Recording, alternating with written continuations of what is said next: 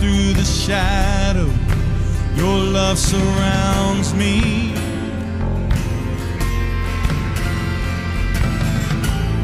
There's nothing to fear now, for I am safe with you. So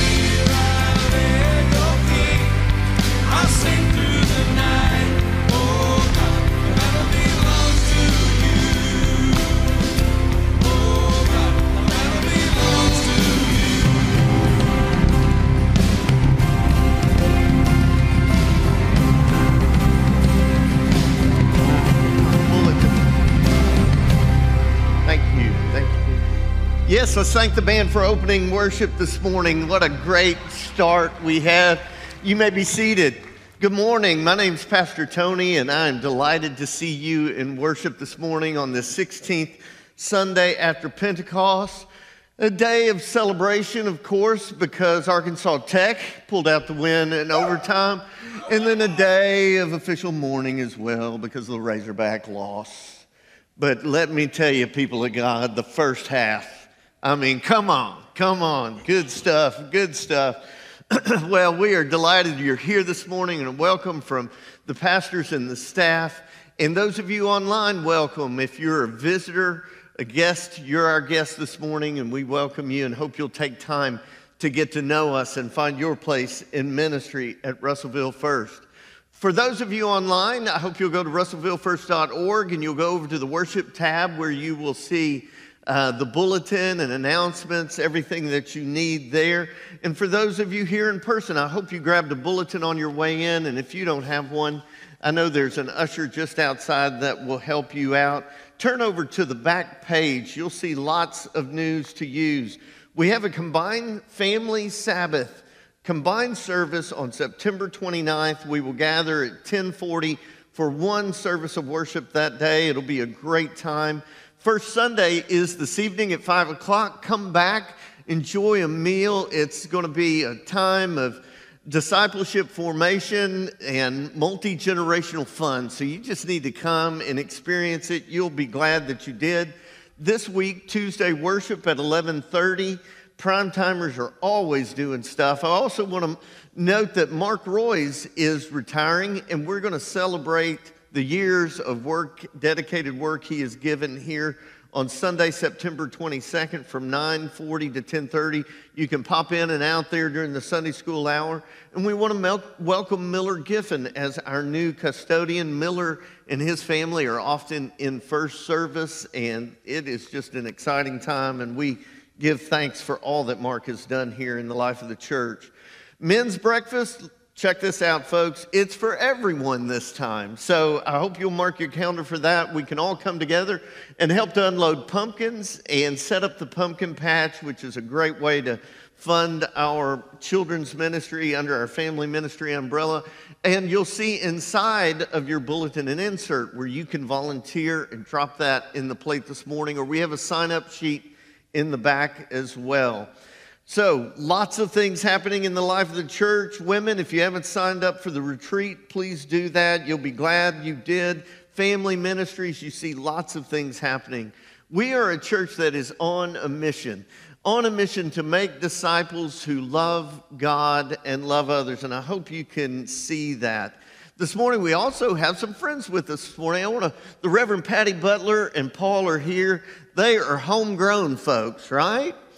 We are so proud of the ministry that you do at Sylvan Hills, Patty, and we are thankful, thankful for this church that nurtured her call into ministry. Let's continue our worship. Let's stand and sing.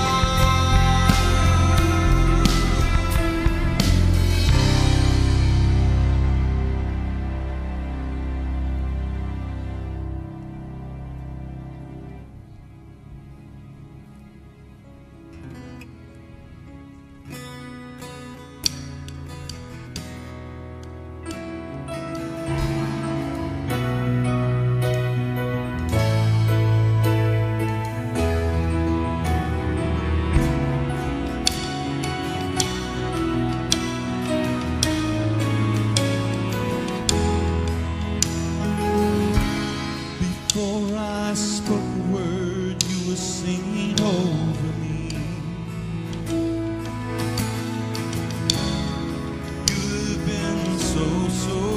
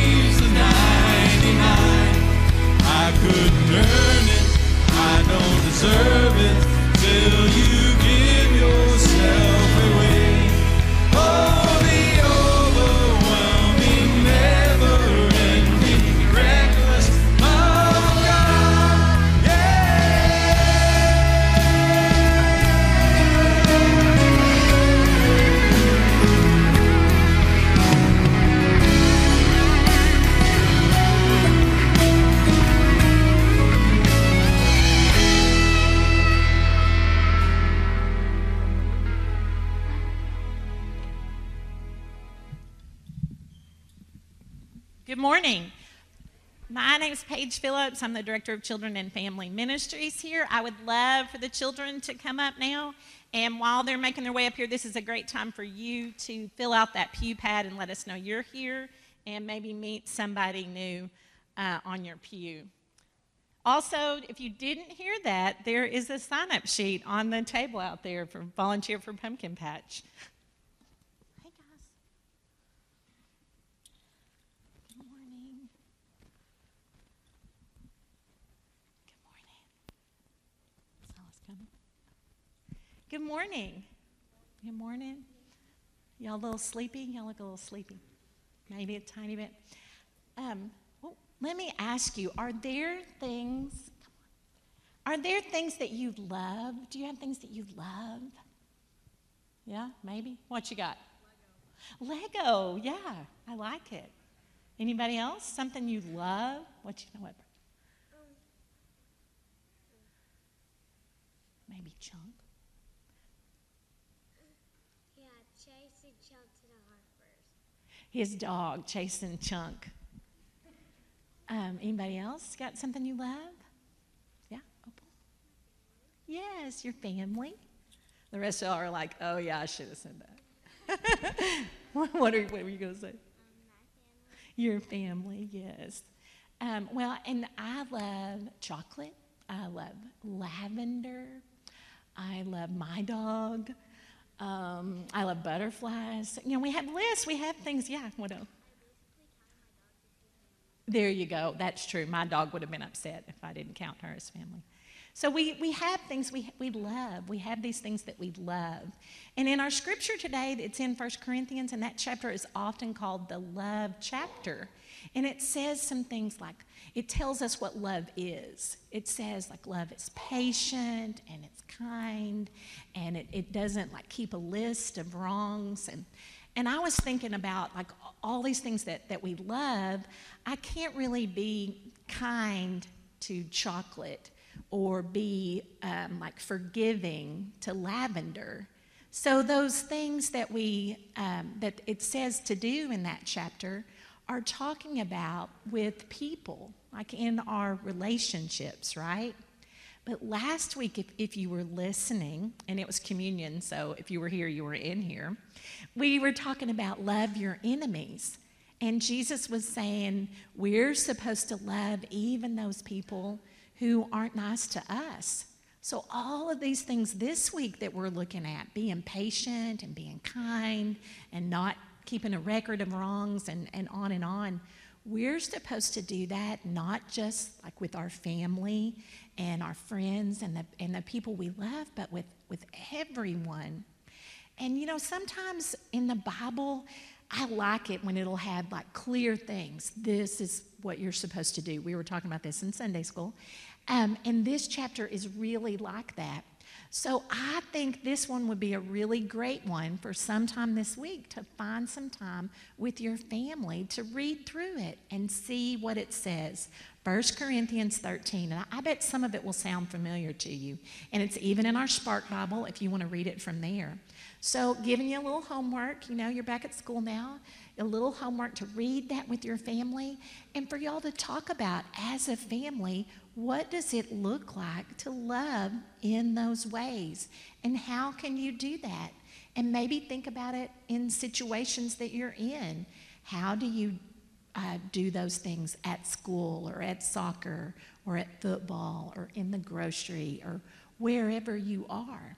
And so I really hope that's something that you and your family can take some time to do. And maybe next week you can um, tell us about it and tell us what you have decided and, and what you have done. All right?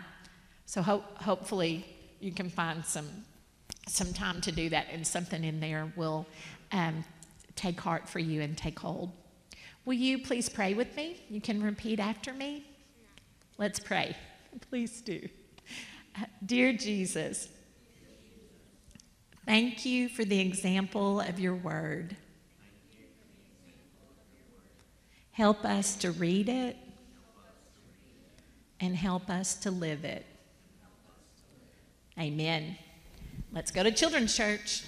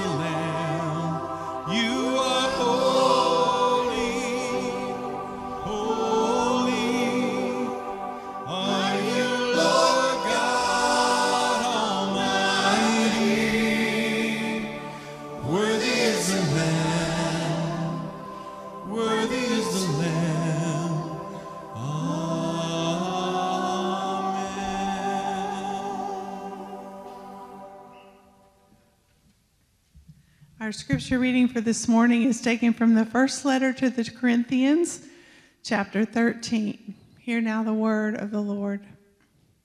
If I speak in the tongues of humans and of angels, but do not have love, I'm a noisy gong or a clanging cymbal. And if I have prophetic powers and understand all mysteries and all knowledge, and if I have all faith so as to remove mountains, but do not have love, I am nothing. If I give away all my possessions, and if I hand over my body so that I may boast, but do not have love, I gain nothing. Love is patient. Love is kind. Love is not envious or boastful or arrogant or rude. It does not insist on its own way. It is not irritable. It keeps no record of wrongs.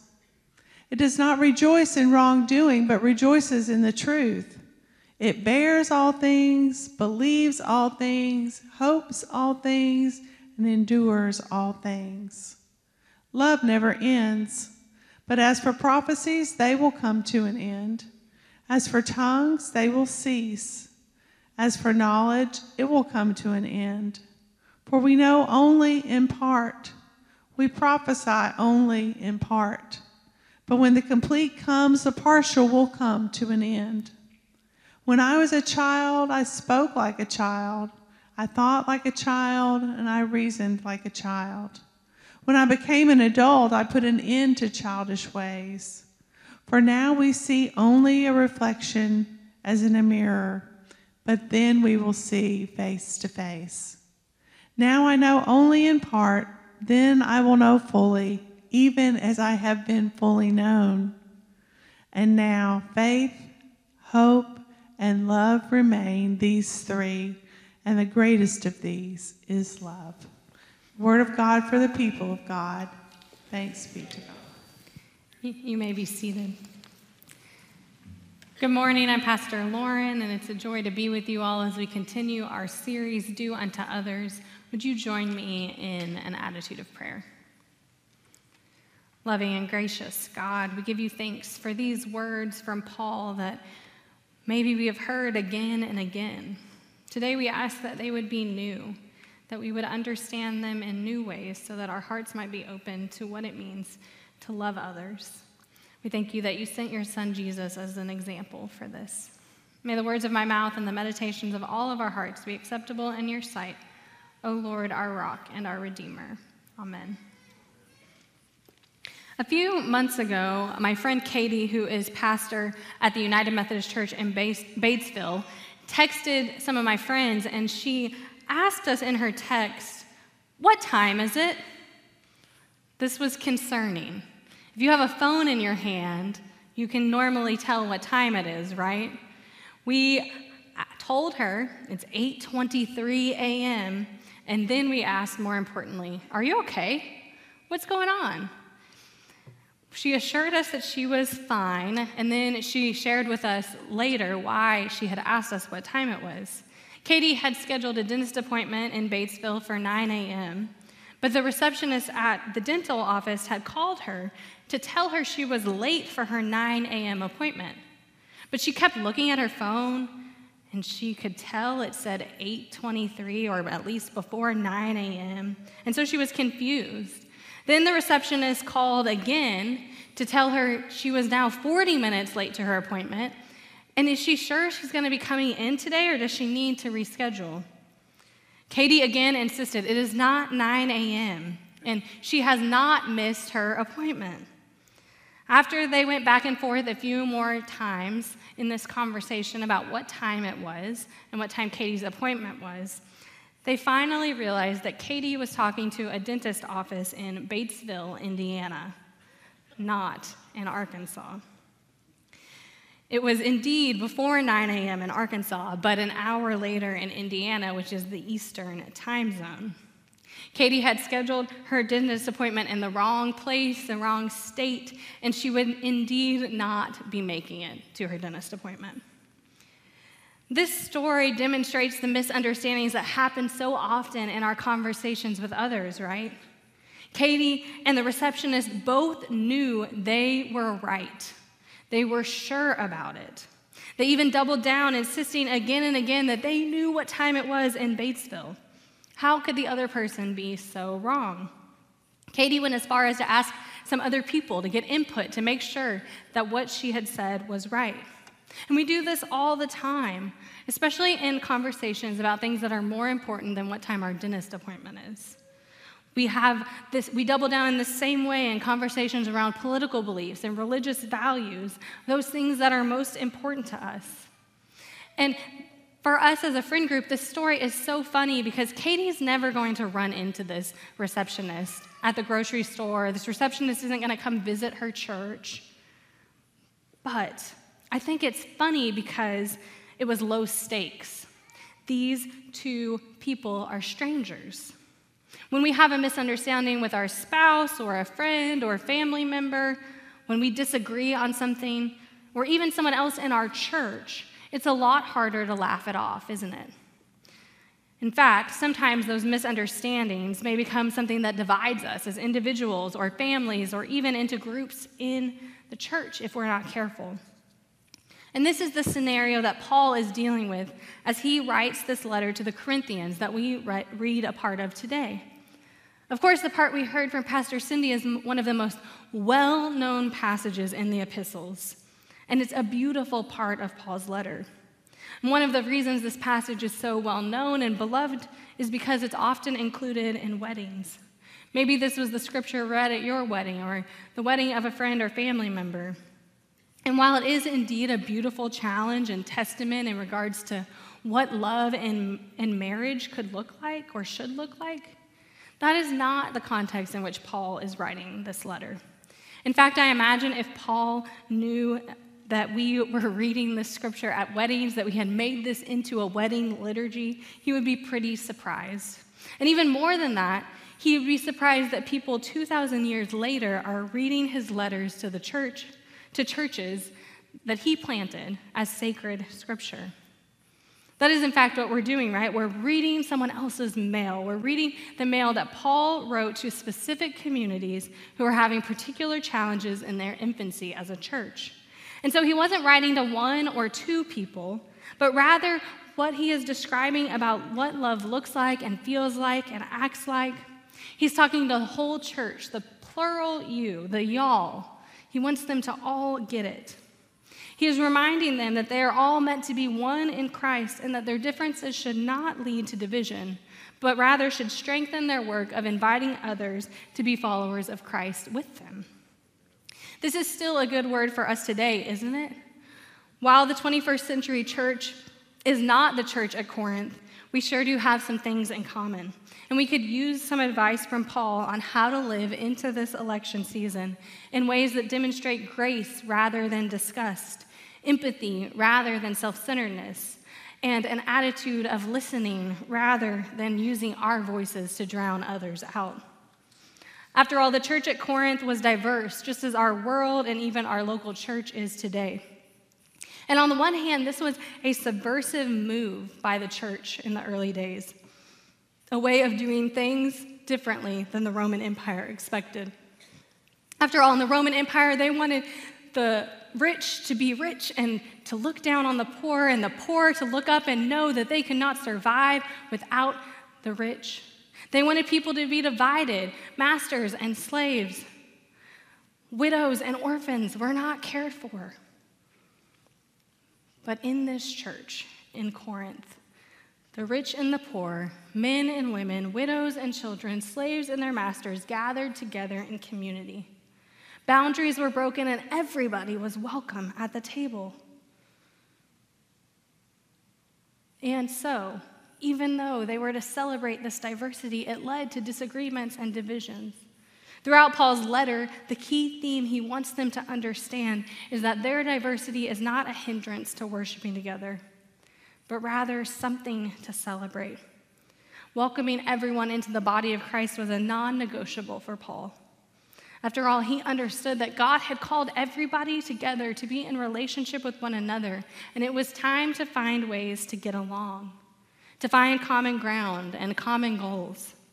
And so Paul doesn't waste much time writing before he lets the Corinthians know that he is disappointed in their inability to get along, and he seeks to correct their behavior.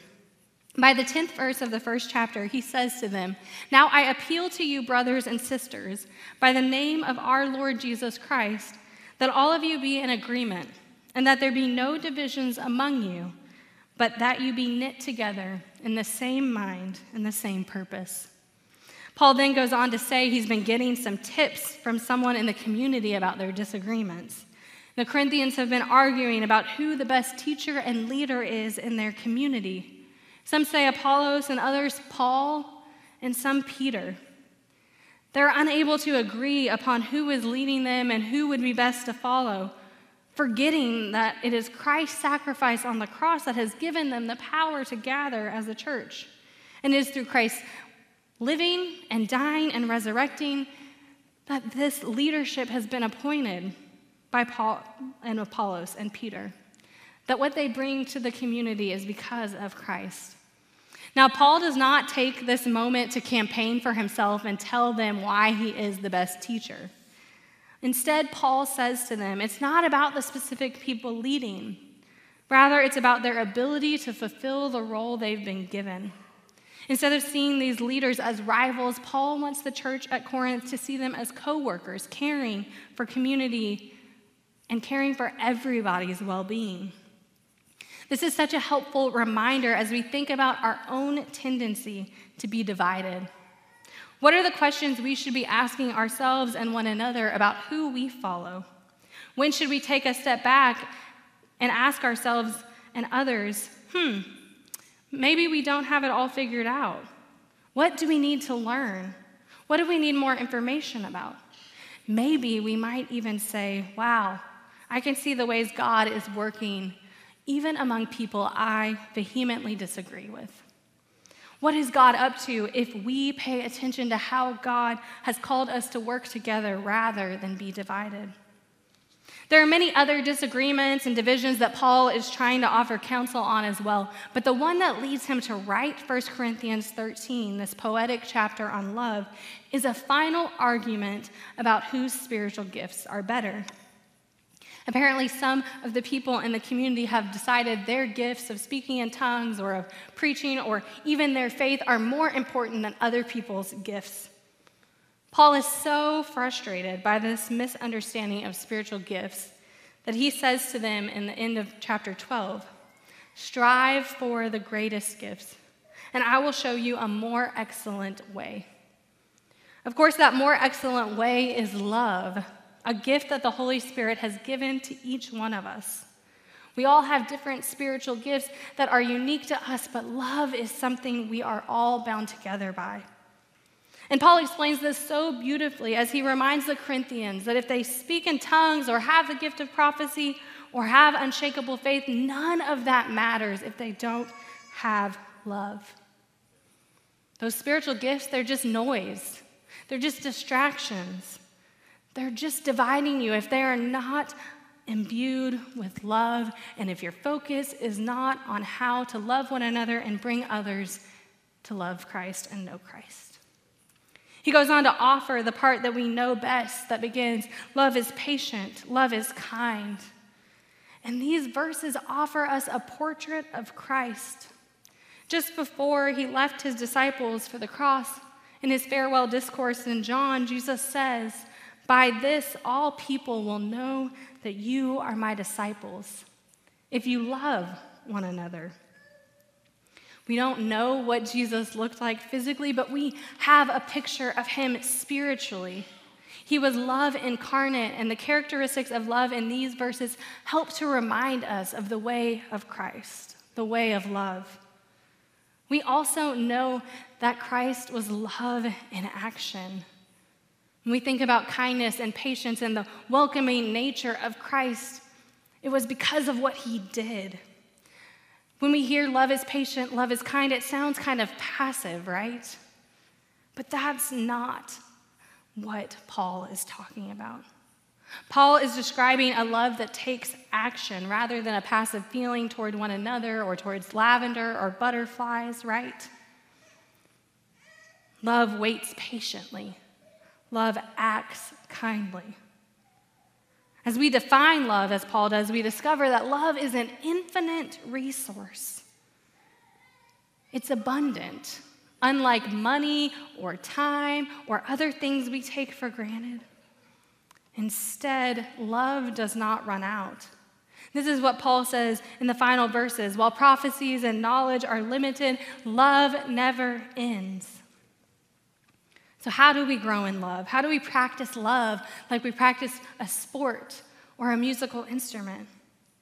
We practice in community, we do it together. We find people like Paul who will hold us accountable when we get distracted by division or disagreement. And we pay attention to when we might not have the whole story, when we might not have it all figured out. Whether it's what time it is in Batesville, or whose spiritual gift is better, or what political party we truly believe is going to lead us to our preferred future, we let those things go for the sake of love. I'm sure many of you know about the famous friendship between two of our Supreme Court justices in our modern era, that of Justices, Justices Ruth Bader Ginsburg and Antonin Scalia. Much was made about their friendship because they were two justices who were diametrically opposed when it came to the significant decisions of the Supreme Court. They served together for 40 years, first in the U.S. Court of Appeals for the D.C. Court Circuit, and eventually they joined the ranks of the Supreme Court, Scalia in 1986 and Ginsburg in 1993. While they seemed unlikely friends, the two bonded over their similarities, both in the courtroom and in their personal lives. When it came to work, they had a mutual devotion for the Constitution, while built on different interpretations that helped them to have a mutual respect for one another.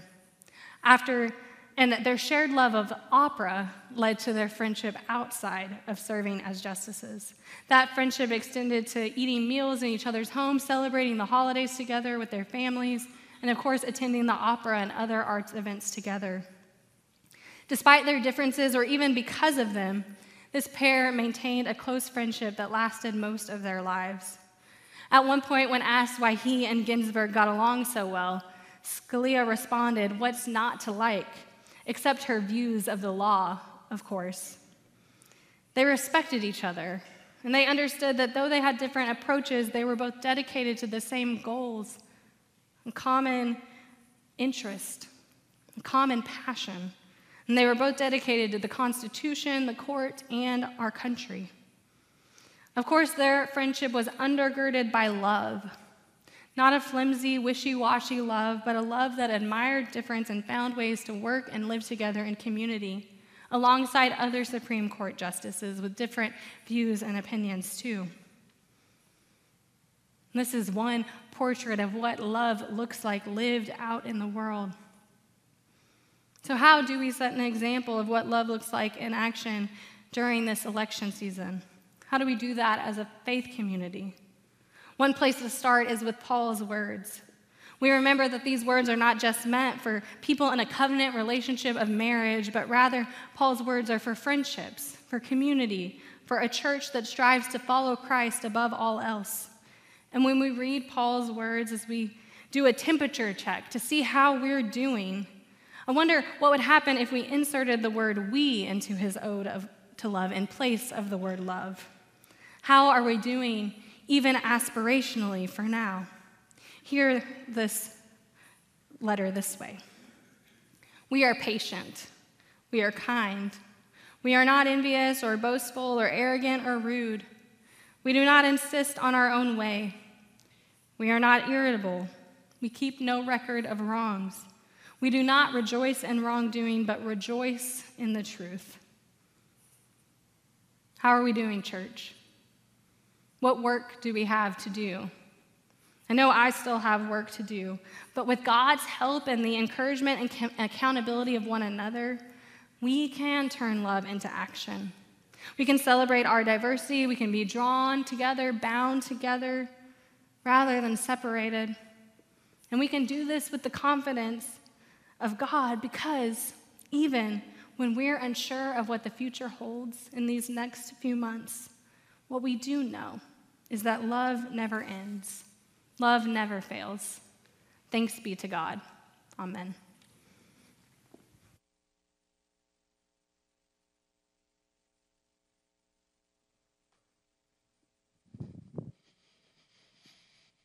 I invite you to stand as we respond to God's word with the words of the Apostles' Creed.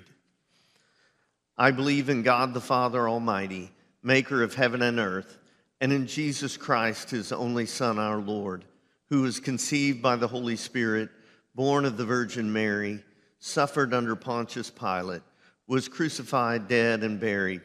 The third day he rose from the dead, he ascended into heaven, and sitteth at the right hand of God the Father Almighty. From thence he shall come to judge the quick and the dead.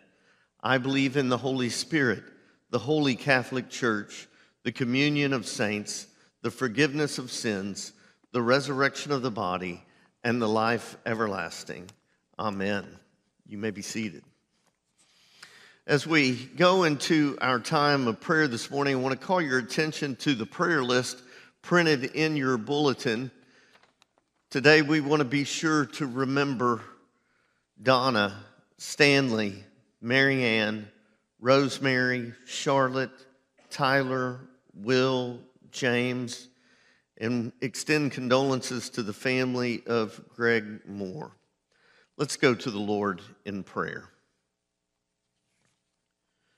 Gracious God, God of love, we give thanks for love incarnate in Jesus Christ, for he has shown the center of love in self giving.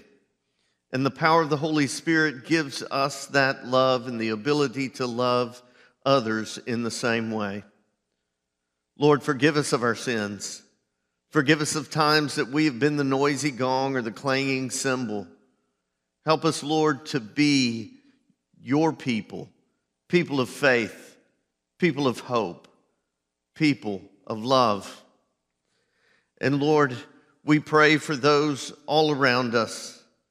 We pray and give thanks for the body of Christ, for the members of this body of Christ, and for the work that you have given us and the mission to make disciples who love God and love others.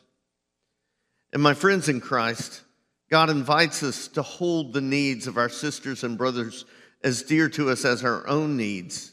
Loving our neighbors as ourselves, we offer our thanksgivings and petitions on behalf of the church in the world. Ask your prayers for God's people throughout the world, for our Bishop Laura, for our Superintendent Roy Beth, for this gathering, and for all ministers and people. Pray for the church.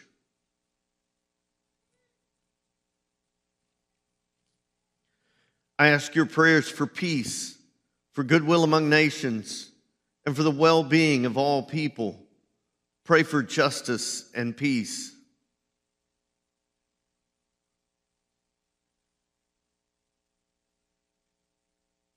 I ask your prayers for the poor, the sick, the hungry, the oppressed, and those in prison. Pray for those in any need or trouble.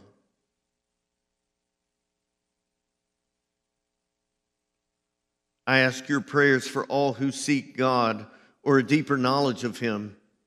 Pray that they may find and be found by Him.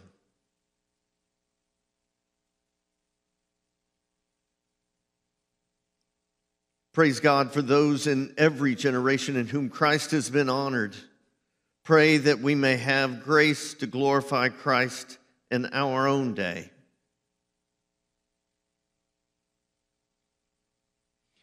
Hear our prayers, God of power, and through the ministry of your Son, free us from the grip of the tomb, that we may desire you as the fullness of life and proclaim your saving deeds to all the world. Hear us now as we pray the prayer you have taught us, praying, Our Father, who art in heaven, hallowed be thy name. Thy kingdom come, thy will be done, on earth as it is in heaven. Give us this day our daily bread and forgive us our trespasses as we forgive those who trespass against us. And lead us not into temptation, but deliver us from evil. For thine is the kingdom and the power and the glory forever. Amen. My brothers and sisters, we've heard from God's word today. We have confessed our sins and we have been forgiven. There's nothing that stands in the way of the, the work of the Holy Spirit in our midst. So I say to you, peace be with you. Let's stand and exchange signs of God's peace.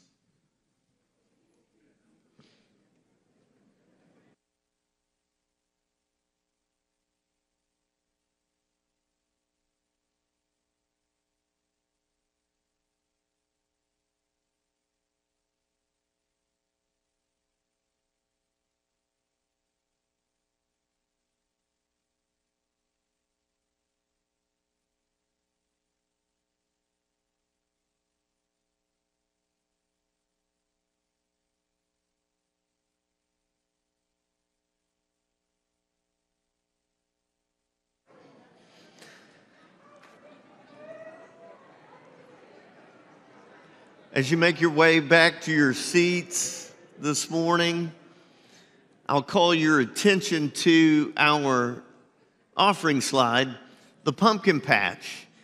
We are so grateful for your financial gifts that help to make ministries like the Pumpkin Patch possible. It's a wonderful tool for outreach in the life of our community. It's always a joy seeing the preschools and the kindergartens come and visit and enjoy the pumpkin patch. So we are thankful for the way you give in support of things like this. I'll remind you of the ways to give. You'll see them on our slides now. You can text to give, you can drop a gift in the plate, you can go to russellvillefirst.org and click give, or call the church, and these are in your bulletin as well. Let's pray for our tithes and offerings. Loving Creator, we dedicate these offerings with our hearts guided by your wisdom and grace. As we gather on this September Sunday, may our gifts embody the teachings of your word. Help us to be kind. Help us to be merciful. Help us to love all. Use these offerings to uplift, if, uplift those in need, fostering hope and peace in our community. May we live out your wisdom in our actions and generosity. This we pray in Christ's name. Amen.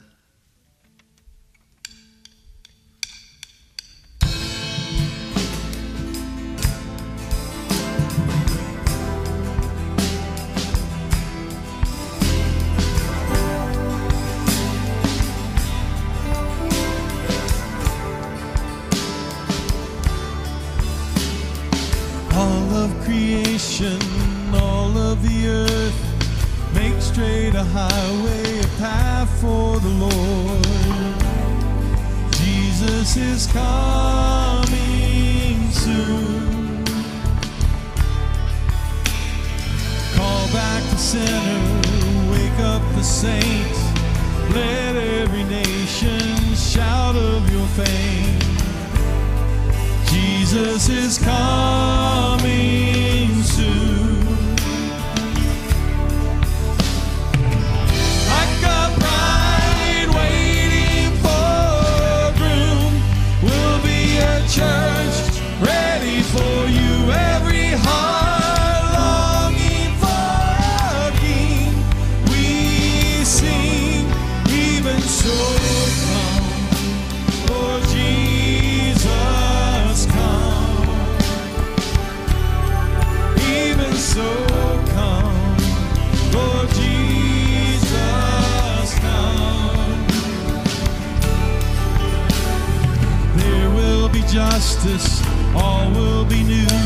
Your name forever, faithful and true. Jesus is coming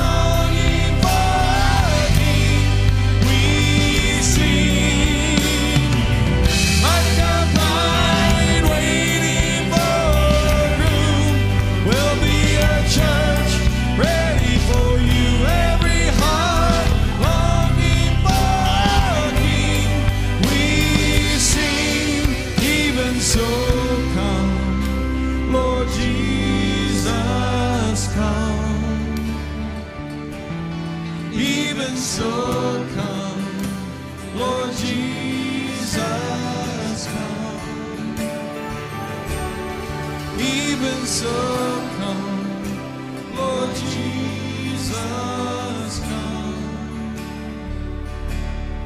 Even so, come, Lord Jesus,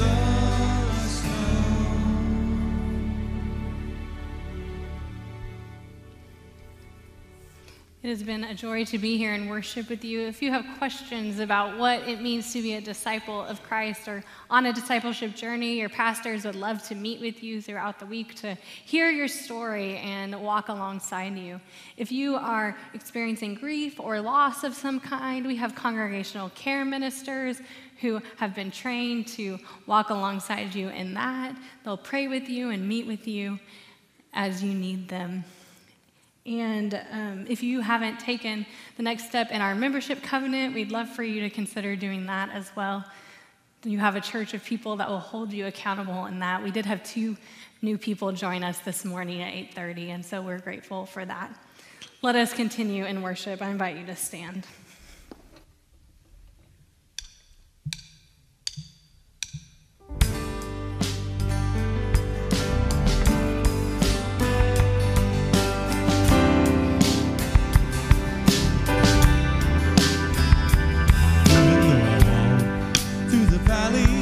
Of the shadow of death.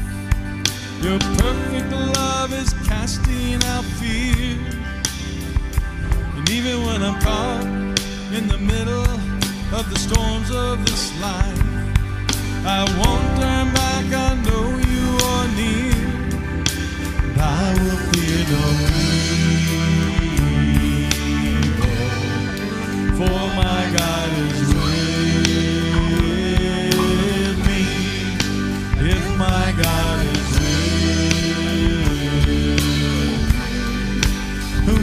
shall I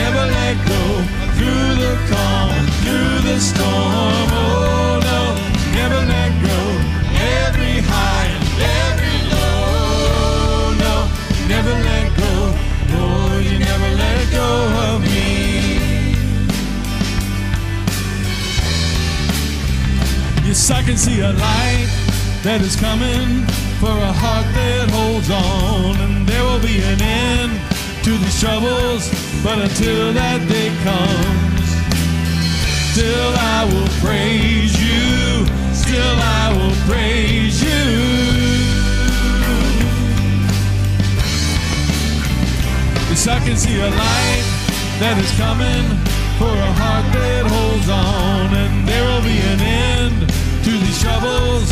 But until that day comes, still I will praise you. Still I will praise you.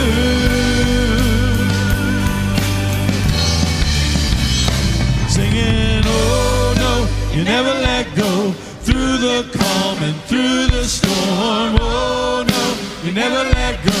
In every high and every low. No, you never let go, Lord, you never let go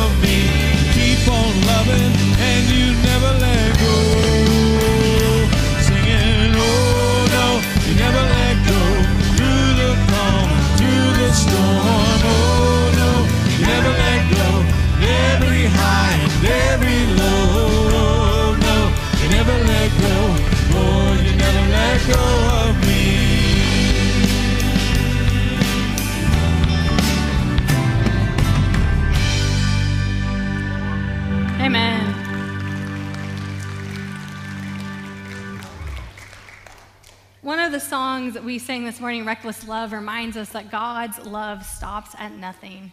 God will come after us, will climb up a mountain, break down walls, break down boundaries and barriers to be with us. And that is the same kind of love that we are called to live out. So might you have a reckless love modeled after God and the way that Christ leads us as you go forth this week to break down boundaries and barriers, knowing that there is no division in us who are in Christ. May the grace of our Lord Jesus Christ, the love of God, and the fellowship of the Holy Spirit be with you now and forever. Amen.